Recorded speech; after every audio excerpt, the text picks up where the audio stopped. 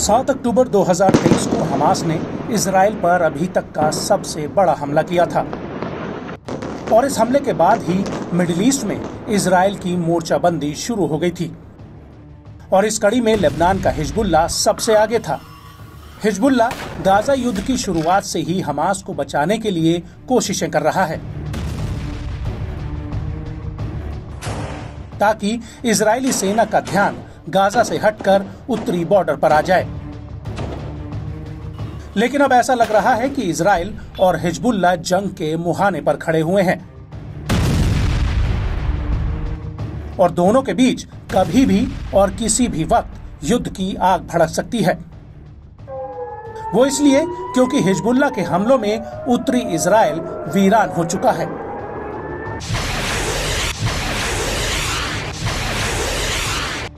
और अब तो इसराइल के विपक्षी नेता बैनी गेंट्स ने भी हिजबुल्ला पर कुछ बड़ा करने की मांग कर दी है।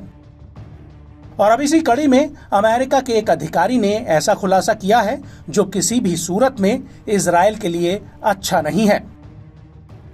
दरअसल, वॉशिंगटन में मिडिल ईस्ट अमेरिका डायलॉग के दौरान इस अमेरिकी अधिकारी ने कहा कि अगर इसराइल और हिजबुल्ला के बीच युद्ध होता है तो विनाशकारी और अप्रत्याशित परिणाम होंगे। उन्होंने कहा कि एक ऐसा विचार है कि युद्ध हो और हम हिजबुल्ला की मिसाइलों का खात्मा कर दें और सब कुछ ठीक हो जाएगा। ये आसान नहीं है। इसका कोई जादुई इलाज नहीं है। दूसरे पक्ष को नष्ट नहीं किया जा सकता। और युद्ध के अंत में इसराइल को इसकी भारी कीमत चुकानी होगी और वो अपने लक्ष्य को हासिल नहीं कर पाएगा।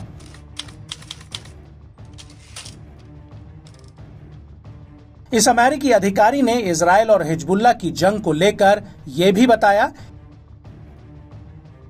कि लैब की परिस्थितियों में युद्ध नहीं हो सकते। ये खेल नहीं है। मुझे इजरायली सेना की काबिलियत पर शक नहीं है, लेकिन हमें तथ्यों के बारे में सोचना होगा कि इसके दोनों तरफ़ बेहद ही गंभीर परिणाम होंगे। अमेरिकी अधिकारी ने आगे ये भी बताया कि अगर युद्ध होता है तो अंतर्राष्ट्रीय बिरादरी को राजनयिक हल के लिए हस्तक्षेप करना पड़ेगा। वो बिल्कुल वैसा ही होगा जिस पर अभी हम बात कर रहे हैं। आपको बता दें कि ये पहली बार नहीं है जब किसी अमेरिकी अधिकारी ने हिजबुल्ला के साथ जंग को लेकर इस तरह का बयान दिया हो, जो इसराइल को रास न आए। बल्कि इससे पहले भी कई अमेरिकी अधिकारी नेतन्याहू को हिजबुल्ला के साथ भिड़ने को लेकर आगाह कर चुके हैं।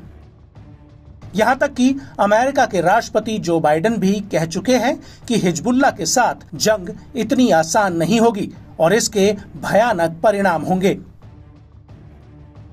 लेकिन इसके उलट इसराइल के भीतर अब हिजबुल्ला को लेकर माहौल गर्माता जा रहा है। विपक्ष से लेकर इसराइल के रक्षा मंत्री योव गैलेंट भी हिजबुल्ला का इलाज करने की बात कह चुके हैं। गैलेंट ने 7 सितंबर 2024 को अपने एक बयान में कहा था कि आईडीएफ उत्तर में एक पूर्ण युद्ध के लिए तैयार हो रही है। बड़ी बात यह है कि ये वही योव गैलेंट हैं जिन्होंने हाल ही में गाजा के फिलाडेल्फी कॉरिडोर को लेकर नेतन्याहू के खिलाफ मोर्चा खोल दिया था।